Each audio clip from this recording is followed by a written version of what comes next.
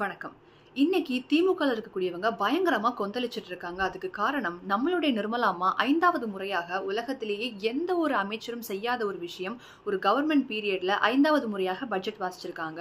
அது பொறுக்க முடியாத இந்த திமுக காரங்க அது ஒரு பட்ஜெட்டே இல்லை அதில் பேச ஒண்ணுமே இல்லை அதை பத்தி நான் பேசவே விரும்பல அப்படிலாம் விமர்சனம் வச்சுட்டு இருக்காங்க அதை பத்தி பேச விரும்பலையா? இல்லை அவங்க சொன்ன எதுவும் உங்களுக்கு புரியலையா? அந்த பட்ஜெட்ல நிர்மலா அம்மா இந்த பத்து ஆண்டுகளாக நம்மளுடைய மோடி ஐயா உடைய கவர்மெண்ட் செஞ்ச திட்டங்கள் சாதனைகளை பத்தி பேசியிருக்காங்க. அது மூலமா நம்மளுடைய பொருளாதாரம் எந்த அளவிற்கு முன்னேறி இருக்கு அப்படிங்கிற விஷயத்தை பத்தி அவங்க தெளிவா பேசியிருக்காங்க புள்ளி விவரங்களோட. அதுல சில விஷயம் முக்கியமான விஷயங்களை தான் நான் இன்னைக்கு இந்த பதிவுல பேச போறேன். நம்ம எல்லாருக்குமே பணம் சேமிக்கிறது அப்படிங்கிறது ரொம்ப முக்கியமான ஒரு விஷயமா இருக்குது. அதுலேயும் குறிப்பாக கரண்ட் கரண்ட்டுன்னு சொன்னால் நிறைய பேருக்கு அணில் கதையெல்லாம் ஞாபகம் வரும். ஆனால் அது ஒரு ஓரமாக வச்சிடலாம் ரூஃப் டாப் சோலரைசேஷன் அப்படிங்கிற ஒரு ஸ்கீமின் மூலமாக ஒரு கோடி வீடுகள் பயனடைஞ்சிருக்கிறாங்க. அதில் முந்நூறு யூனிட் கரண்ட் வந்து ஒரு மாதத்திற்கு வந்து சென்ட்ரல் கவர்மெண்ட் இலவசமாக கொடுக்குறாங்க. இதன் மூலம் ஒரு ஆண்டிற்கு பதினைந்துலேருந்து பதினெட்டாயிரம் ரூபாய் வந்து சேமிக்கப்படுது ஒரு வீட்டிற்கு. பணம் சேமிக்கிறத வந்துட்டு ஒரு குடும்பம் நினைச்சாங்க அப்படின்னா அவங்களுடைய வாழ்வாதாரத்தை உயர்த்திக்கிறதுக்காக அவங்க அதை பண்ணுறாங்கன்னு சொல்லி சொல்லலாம். அது ரொம்ப இயல்பான ஒரு விஷயம்தான். ஆனால் ஒரு மத்திய அரசாங்கம் வந்து ஒரு ஒரு குடிமக்களுடைய வாழ்வாதாரத்தை உயர்த்தணுங்கிறதுக்காக இப்படி ஒரு ஸ்கீமை கொண்டு வரது ரொம்ப ரொம்ப பெரிய விஷயம். அது ஒரு உண்மையான நேர்மையான கவர்மெண்டால தான் பண்ண முடியும். அப்படி ஒரு கவர்மெண்ட் தான் நம்மளுடைய மோடி ஐயா கவர்மெண்ட்டுங்கிறதுல எந்த வித மாற்று கருத்தும் கிடையாது. அதுக்கு இதுவே ஒரு சான்று. திமுக இருக்கக்கூடியவங்க மோடி ஐயாவுடைய கவர்மெண்ட் வந்து இளைஞர்களுக்கு எந்த ஒரு வேலை வாய்ப்பையும் உருவாக்கி கொடுக்கல. இளைஞர்களுடைய வேலை வாய்ப்பு வந்து எந்த லட்சணத்தில் இருக்குன்னு உங்களுக்கே தெரியும். இந்த மாதிரிலாம் பேசியிருந்தாங்க. அதுக்கு நீங்கள் தெரிஞ்சுக்க வேண்டிய விஷயம் எம்பவரிங் யூத் அப்படிங்கிற ஒரு ஒரு மிஷன் மூலமாக இளைஞர்களுக்கு பல திட்டங்களை வந்து மோடி ஐயா கொடுத்துருக்கிறாரு. அதில் முக்கியமாக national education policy PM schools அதை விட முக்கியமாக ஸ்கில் இண்டியா மிஷன் அது மூலமாக one point four crore youths வந்துட்டு ட்ரைனிங் எடுத்துட்டு இருக்காங்க. அதாவது ஒன்று புள்ளி நாலு கோடி இளைஞர்களுக்கு வந்து பயிற்சி கொடுத்துட்டு இருக்காங்க. அப்ஸ்கில்லிங் அண்ட் ரீஸ்கில்லிங் அதாவது திறமை இருக்கக்கூடிய இளைஞர்களுக்கு இன்னும் அவங்க திறமையை மேம்படுத்துவதற்காக ஒரு பயிற்சி அளிக்கப்படுது. அது மூலமாக ஐம்பத்தி நாலு லட்சம் இளைஞர்கள் வந்து பயனடைஞ்சிருக்கிறாங்க. அது மட்டும் இல்லாமல் மூவாயிரம் ஐடிஐஸ் வந்து இந்தியாவில் உருவாக்கப்பட்டிருக்கு. அதை விட முக்கியமாக டாப் இன்ஸ்டியூஷன்ஸ் டாப் இன்ஸ்டியூஷன்ஸில் வந்து ஏழு ஐஐடிஸ் பதினாறு ட்ரிபிள் ஐடிஸ் ஏழு ஐஐஎம்ஸ் பதினைந்து எய்ம்ஸ் முந்நூற்றி பத்தொம்போது யூனிவர்சிட்டிஸை வந்து இந்தியாவில் கட்டியிருக்கிறாங்க. இதில் தான் ஒரு முக்கியமான விஷயம். பதினஞ்சு எய்ம்ஸ் கட்டியிருக்கீங்களே மதுரையில் இருக்கக்கூடிய எய்ம்ஸ் ஏன் இன்னும் வரலை அப்படின்ற விமர்சனம்லாம் நீங்கள் வந்து வச்சுட்ருக்கீங்கன்னு எங்களுக்கு தெரியும். அதுக்கு ஒரு முக்கியமான காரணம் இருக்குது எய்ம்ஸை பொறுத்த வரைக்கும் மதுரையில் ஜிகா அதாவது ஜப்பான் இன்டர்நேஷ்னல் கார்பரேஷன் ஏஜென்சி அவங்க தான் வந்து இதில் வந்து முழு பங்கீடு கொடுத்துருக்குறாங்க. அவங்க வந்து இந்த கோவிட் பீரியடின் காரணமாக அது ஒரு தடை பட்டுருச்சு. அதாவது ஒரு நிறுத்தப்பட்டுருச்சு. அந்த கோவிட் டைம்னால நமக்கே தெரியும் உலக நாடுகள் எல்லாருமே ஸ்தம்பிச்சு போயிருக்கக்கூடிய நிலைமையில நம்மளால எந்த ஒரு ஸ்டெப்பையும் எடுக்க முடியாது. அதுவும் ஒரு எய்ம்ஸ் மாதிரியான ஒரு பெரிய மருத்துவக் கல்லூரி கட்டுறதுக்கான வாய்ப்புகள்லாம் மிக மிக குறைவாக இருந்தது. அதனால இது நிறுத்தி வைக்கப்பட்டிருக்குதே தவிர கண்டிப்பாக எய்ம்ஸ் வராது அப்படிங்கிறத மோடி ஐயாவுடைய கவர்மெண்ட் சொல்லலை. அந்த அந்த பீரியட் தாண்டி இன்னைக்கு நம்ம எல்லாருமே ஒரு நல்ல நிலைமைக்கு வந்திருக்கிறோம். அதனால இந்த ஆண்டு கண்டிப்பாக எய்ம்ஸ் வரும் அப்படிங்கிறதுல எந்தவித மாற்று கருத்தும் கிடையாது. அதை தான் மோடி ஐயாவுடைய கவர்மெண்ட் சொல்றாங்க. சொன்ன வாக்க காப்பாத்தாத கவர்மெண்ட் மோடி ஐயா கவர்மெண்ட் கிடையாதுங்கிறத நீங்க நல்லா புரிஞ்சுக்கணும்.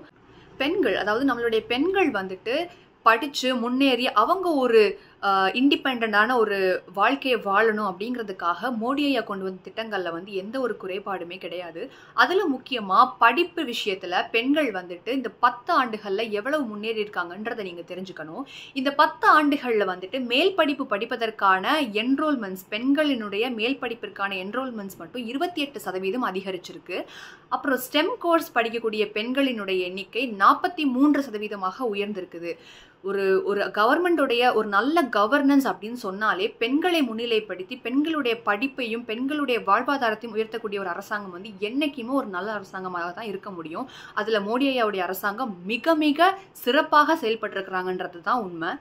பெண்களுக்கு படிப்பு மட்டும் இல்லாமல் இன்னும் பல விஷயங்களில் முன்னேறணும் அப்படிங்கிறதுக்காக மோடி ஐயா இன்னும் பல ஸ்கீம்ஸ் வந்து கொண்டு வந்திருக்காங்க. அதில் சிலது தான் முத்ரா யோஜனாவாக இருக்கட்டும் ஜல்ஜீவனாக இருக்கட்டும் உஜ்வாலாவாக இருக்கட்டும் ஒன் தேர்ட் சீட்ஸ் வந்து விமனுக்கு கொடுத்ததாக இருக்கட்டும் அது மட்டும் அதையும் தாண்டி ஸ்போர்ட்ஸில் அதுக்கப்புறம் விஸ்வகர்ம யோஜனாவாக இருக்கட்டும் ஜன்மன் யோஜனாவாக இருக்கட்டும் திருநங்கைகளுக்காக அவங்க கொண்டு வந்த ஸ்கீம்ஸாக இருக்கட்டும் அன்னதாத்தா அதாவது ஃபார்மர்ஸ் விவசாயிகளுக்காக மோடி ஐயா கொண்டு வந்த திட்டங்களாக இருக்கட்டும் இப்படி எல்லா விஷயத்துலையும் எல்லா மக்களும் நாட்டில் இருக்கக்கூடிய ஒரு ஒருத்தங்களும் இந்த ஜாதி அந்த மதம் எந்த ஒரு பாகுபாடும் இல்லாமல் எல்லாரும் பயனடைகிற மாதிரியான திட்டங்களை வந்து இந்த பத்து ஆண்டுகளில் மோடி ஐயாவோட அரசாங்கம் கொடுத்துருக்குறாங்க. இன்னும் அவங்க என்னெல்லாம் சொல்கிறாங்க அப்படின்னா தென் மாநிலங்கள் அதாவது பாஜக ஆளாத தென் மாநிலங்கள் எல்லாத்துக்கும் கம்மியான பட்ஜெட்டும் பாஜக ஆளக்கூடிய உத்தரப்பிரதேசத்திற்கு வந்து இரண்டு லட்சம் கோடிக்கு மேல பட்ஜெட்டையும் ஒதுக்கி இருக்கிறாங்கன்னு பேசுறாங்க. பாஜக ஆளாத தென் மாநிலங்கள்னு சொல்றதே ஏற்றுக்கொள்ள முடியாத ஒரு கருத்து தான். ஏன்னா போன பீரியட்ல கர்நாடகால பாஜக தான் ஆட்சியில இருந்தாங்க அப்படிங்கறத நீங்க மறந்துடவும் கூடாது. இதுக்கப்புறம் தமிழகத்தை ஆழப்போவதும் பாஜக அப்படிங்கிறதையும் நீங்க மறுக்கவும் முடியாது.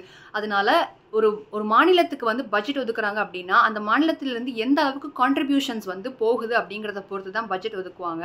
அவங்களுடைய அவங்களுடைய மாநிலத்தின் மூலமாக எந்த அளவிற்கு பொருளாதாரம் வந்து உயர்த்தப்படுது ஒரு மேன்மை அடையுது அப்படிங்கிறத நிறைய கருத்துக்களை உள்ளடக்கி தான் வந்து பட்ஜெட் வந்து போடுறாங்க. அதனால ஒரு மாநிலத்தை வந்து கு- காட்டியோ அவங்களுக்கு குறைவான பட்ஜெட் ஒதுக்கியோ மத்திய அரசாங்கத்துக்கு எதுவுமே கிடைக்க போகிறது கிடையாது. அதுலேயும் குறிப்பாக தென் மா மாநிலங்களை வந்துட்டு ஓரவஞ்சனை காட்டுறாங்கன்றதை நீங்கள் சொல்லவே கூடாது. இன்னைக்கு தென் மாநிலங்களுடைய புகழை வந்துட்டு உலகறிய செய்து கொண்டிருக்கக்கூடிய ஒரே பிரதமர்னா அது மோடி ஐயா மட்டும்தான். அதுக்கு ஒரு சான்று இன்னைக்கு பார்லிமெண்ட்ல இருக்கக்கூடிய செங்கோல். அடுத்ததாக அவங்க வந்து ஒசூரில் இருக்கக்கூடிய ஏர்போர்ட்டுக்கு நாங்கள் பெர்மிஷன் கேட்டுகிட்டே இருக்கோம். நீங்கள் அதுக்கு இன்னும் பெர்மிஷன் கொடுக்க மாட்டேங்கிறீங்க. அதை இன்னும் அமைச்சு கொடுக்க மாட்டேங்கிறீங்கன்ற குற்றச்சாட்டை வைக்கிறாங்க. ஒசூர் ஏர்போர்ட்டை பொறுத்த வரைக்கும் பெங்களூர் கெம்பகவுடா இன்டர்நேஷ்னல் ஏர்போர்ட்டுக்கு ஒரு நூற்றி ஐம்பது கிலோமீட்டர் ரேடியஸில் வந்து இந்த ஒரு இடம் அமைஞ்சிருக்குது. அது ஒரு மிகப்பெரிய இண்டஸ்ட்ரியல் லெவலில் வந்து வளர்ந்து வரக்கூடிய ஒரு மாவட்டமாக இருந்தாலும் ரொம்ப குறைவான ஒரு கிலோமீட்டர் டிஃப்ரென்ஸில் இருக்கக்கூடிய ஒரு இடத்துல வந்து ஏர்போர்ட் அமைக்கிறத வந்துட்டு மத்திய அரசாங்கம் வந்து கொஞ்சம் யோசிக்கிறாங்க. ஏன்னா ரொம்ப ரொம்ப நெருங்கின ஒரு டிஸ்டன்ஸில் இருக்கிறதுனால பல பிரச்சனைகள் வந்துட்டு வரதுக்கான வாய்ப்புகள் இருக்குது. அதனால தான் இந்த ஒரு விஷயம் வந்து இன்னும் நிலுவையில் இருக்குது. ஆனால் பரந்தூரில் வந்து ஏர்போர்ட் கட்டுறதுக்கான பெர்மிஷனை கொடுத்ததுக்கு அப்புறமும் கூட நீங்கள் இன்னும் அதுக்கான ஸ்டெப்ஸ் எடுக்காமல் இருக்கிறீங்களே அது ஏன்றதை நீங்கள் ஃபஸ்ட்டு சொல்லுங்கள் மோடியாவினுடைய கவர்மெண்ட் வந்து ஒரு விஷயத்த பலமுறை யோசித்து தெளிவாக நன்மைக்காக மட்டுமே செய்வாங்க. ஆனால் நீங்கள் செய்யாத விஷயத்துக்கு சாக்கு சொல்கிற மாதிரி தான் கொடுத்த பெர்மிஷன் கொடுத்த இடத்துல வந்து இன்னும் ஏர்போர்ட் அமைக்காம அதை தாண்டி உள்ள இடத்துலலாம் பத்தி பேசிட்டு இருக்கிறதுக்கு உங்களுக்கு எந்த ஒரு தகுதியும் கிடையாது. அது எல்லாத்துக்கும் மேல உலக நாடுகள் மத்தியில இன்னைக்கு நம்ம நாடு வந்து ஒரு மிகப்பெரிய இடத்தை பிடிச்சிருக்குது. அதற்கு முக்கியமான காரணம் நம்மளுடைய பேண்டமிக் சுச்சுவேஷனில் உலக நாடுகளே ஸ்தம்பிச்சு சாப்பாடு இல்லாமல் மருத்துவ உதவிகள் இல்லாமல் இருந்தப்போ உயிர் ப பயத்தில் எப்போ யாருக்கு என்ன ஆகும் தெரியாமல் இருந்த ஒரு காலகட்டத்தில் நம்மளுடைய மோடி அரசாங்கம் நம்மளுடைய மக்களை வந்து எந்த அளவுக்கு பாதுகாத்தாங்க? வேக்சினேஷன்ஸ் வந்து எத்தனை நாடுகளுக்கு நம்மளே கொடுத்துருக்குறோம்? நம்ம நாட்டுக்கு மட்டும் இல்லாமல் பக்கத்தில் இருக்கக்கூடிய நாடுகளுக்கு தொலைவில் இருக்கக்கூடிய நாடுகள் எல்லாருக்குமே நம்ம உதவி செஞ்சுருக்கோம். அதனுடைய நன்றி கடனாக இன்னைக்கு நிறைய நாடுகள் வந்துட்டு நம்மளோட அவ்வளோ ஒரு நட்புறவு பாராட்டிட்டு இருக்கிறாங்க.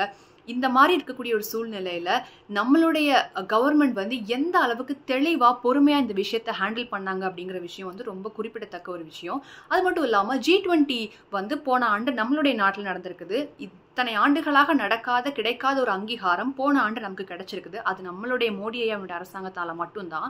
இன்னும் அடுத்த ஐந்து ஆண்டுகளும் மோடி ஐயா கண்டிப்பா வரத்தான் போறாரு. அதனுடைய வளர்ச்சி அவர் வந்ததுக்கு அப்புறம் இந்தியாவினுடைய வளர்ச்சி வந்துட்டு மிக மிக மிக அசுர வளர்ச்சியாக தான் இருக்க போகுது. அதுல எந்தவித மாற்று கருத்தும் கிடையாது. இப்படி பல திட்டங்கள் மூலமா பெண்கள் இளைஞர்கள் சாமானிய மக்கள் விவசாயிகள் இப்படி எல்லாருக்கும் ஒன்று இல்லை ரெண்டு இல்லை பல திட்டங்களை கொடுத்துருக்கிறாரு மோடி ஐயா.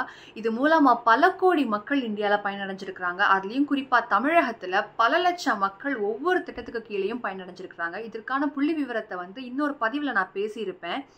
இப்படி ஒரு நல்லாட்சி மக்களுக்காக மட்டுமே நல்லாட்சி புரியக்கூடிய ஒரு அரசாங்கத்தை பற்றி தவறான விமர்சனங்கள் பொய்யான பதிவுகள் எல்லாம் போடுறதுக்கு பதிலாக உங்களுடைய திமுக அரசாங்கம் வந்து தமிழகத்துல தேர்தல் வாக்குறுதின்னு ஒன்று நீங்க கொடுத்தீங்க தெரியுமா? அது இன்னும் பல விஷயம் நிறைவேறாமல் இருக்கு. அதை பற்றி கொஞ்சம் கவனிங்க. அதுக்கு முக்கியத்துவம் கொடுங்க அப்படின்னு மிக தாழ்மையுடன் கேட்டுக்கொள்கிறோம். நன்றி. வணக்கம்.